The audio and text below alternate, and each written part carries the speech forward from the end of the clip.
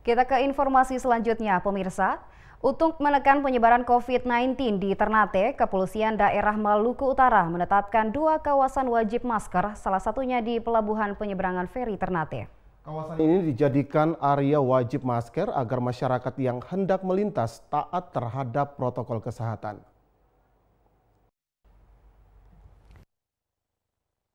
Sosialisasi protokol kesehatan COVID-19 terus ditingkatkan Kepolisian Daerah Maluku Utara bersama Korem 152 Babula. Salah satu yang gencar disosialisasikan yakni wajib masker karena masker menjadi alat utama untuk mencegah penyebaran COVID-19.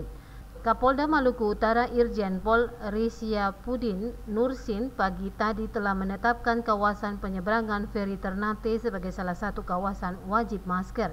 Kapolda menegaskan kawasan wajib masker ini tidak hanya sebatas wacana, akan tetapi harus memiliki konsep yang jelas seperti menyiapkan personil untuk melakukan pengawasan serta menyediakan tempat cuci tangan sesuai protokol COVID-19 tidak punya masker ya kita kasih ya kan? Tapi kalau misalkan dia tidak punya tidak punya masker ya kita suruh berhenti dulu karena ini di sini adalah kawasan wajib masker. Mudah-mudahan kita menyiapkan ya kan? Kita akan menyiapkan masker ya masker di pos-pos pengawasan ini.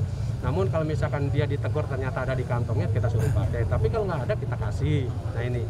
Dan kita cek suhu tubuhnya nah apabila yang tidak berangkat itu kalau misalkan terkonfirmasi positif kita harus selamatkan dulu kita harus tangani dulu sehingga tidak menyebarkan atau dia sebagai OTG yang akhirnya terkonfirmasi kepada yang lainnya Menurut Kapolda, langkah antisipasi dan deteksi dini ini akan lebih ditingkatkan lagi.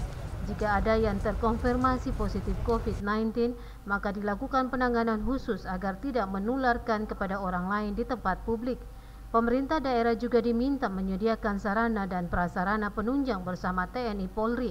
Bagi masyarakat yang berpergian dari Ternate dan sebaliknya, dihimbau tetap menggunakan masker karena kawasan ini nantinya akan dijaga ketat oleh pihak keamanan dari TNI Polri dibantu petugas ASDP. Dari Maluku Utara, Rusdi Samsi melaporkan.